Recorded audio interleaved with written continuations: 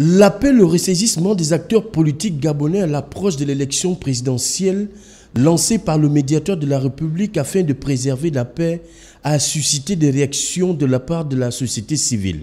L'ONG Initiative Développement Recherche Conseil, par la voix de son coordonnateur, a tenu à saluer l'initiative tout en émettant de réserves. Nous ne sommes pas surpris, nous ne sommes pas surpris de, de cet appel euh, qui arrive euh, peut-être peut-être euh, un peu tard, parce que nous sommes à quatre mois des échéances euh, des, élections présidentielles, mais c'est c'est tout de même un appel euh, qu'il ne faut pas négliger. Gouverner, c'est prévoir. Donc anticiper. Mais je ne pense pas que ce soit à quatre mois des élections qu'on va anticiper, on va chercher à mettre des gens autour d'une table et surtout des personnes qui va discuter qui va discuter? On va discuter avec qui? D'un côté, aujourd'hui, vous avez des politiques qui ne reconnaissent pas, euh, depuis 2009, la paternité, qui ne reconnaissent pas euh, que Ali Bongo Ondimba a été élu et qu'il est président depuis 2009.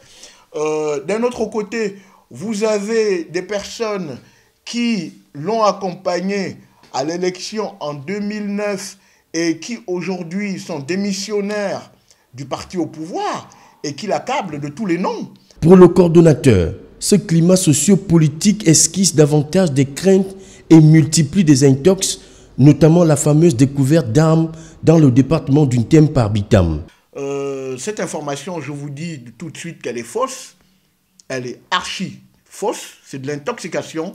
Pourquoi? Parce que nous nous sommes rapprochés de monsieur le président du conseil départemental d'une thème, qui, tout le monde le sait, et n'est pas du parti au pouvoir, euh, il est de l'Union nationale. Euh, ce dernier nous a clairement informé que, à cette même période, il y avait des manœuvres militaires françaises, et d'ailleurs qui se sont installées au village Mamenine. Euh, et ces manœuvres n'avaient pas du tout pour mission et ne sont jamais allées du côté de la frontière des Boros pour faire un quelconque contrôle. Euh, nous avons également approché, parce que nous, euh, IDRC Africa, nous travaillons avec OLAM. Euh, OLAM, c'est un partenaire sérieux. OLAM, c'est un partenaire sérieux.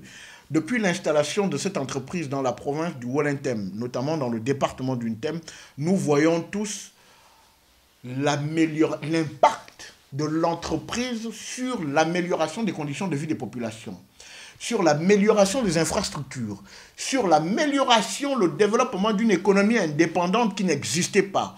Pour ça...